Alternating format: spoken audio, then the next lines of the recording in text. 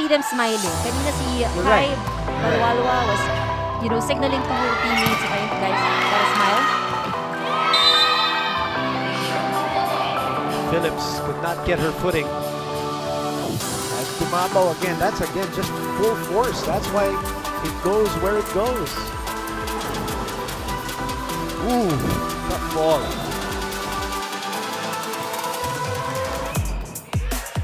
Chance here for Creamline. Michele Gumabao off the hands of Chisa. And Yeah, that's what, what, what they want from Michele Gumabao. More of that, more of what she did in the first game that they won, where she dominated, and they need that from her. They need to- someone to actually step up.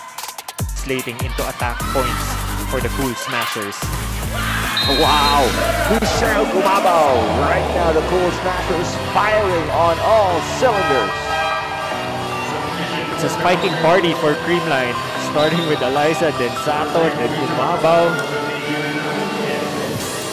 Creamline. Kaya baka ganun din yung gagawin nila in this ball game to isolate the attackers. But Michele Gumabao just above the two blockers of Cignal in that one.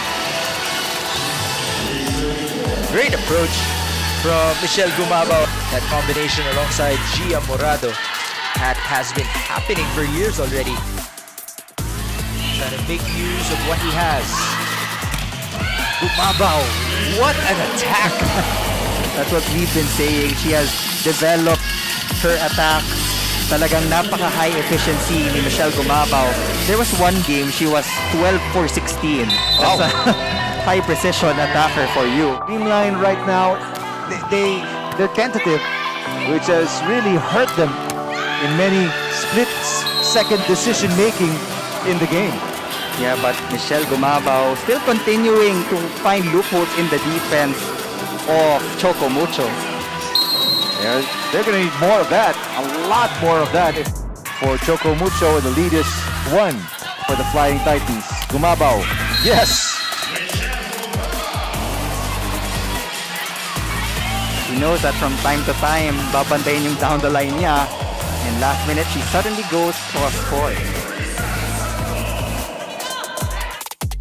after game. So that's one thing positive for this team moving into the the semis and for them also be the final. Well, sabi mo nga, marami pang, uh, sabi rin ni Gina, Jia, marami pang aayusin in terms of their team.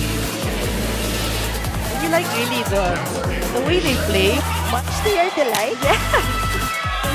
Siyempre fair tayo dun. Okay, chance ball here. Back to Michelle. Uh, There you go, Michelle this time. that's what we are waiting for. And she's even challenging Kath Arado, our number one this year at Digger in Matapa, matapang si Michelle. Testo nga. Subukan natin. She wins this round against Kath Arado. Fans are waiting for sure. Negrito. Gumabao with a rocket. Power attack there by Michele Gumabao. It's a simple hit, but it made a big impact in this game, keeping them alive. She's seen her her share of wars, her share of championship battle.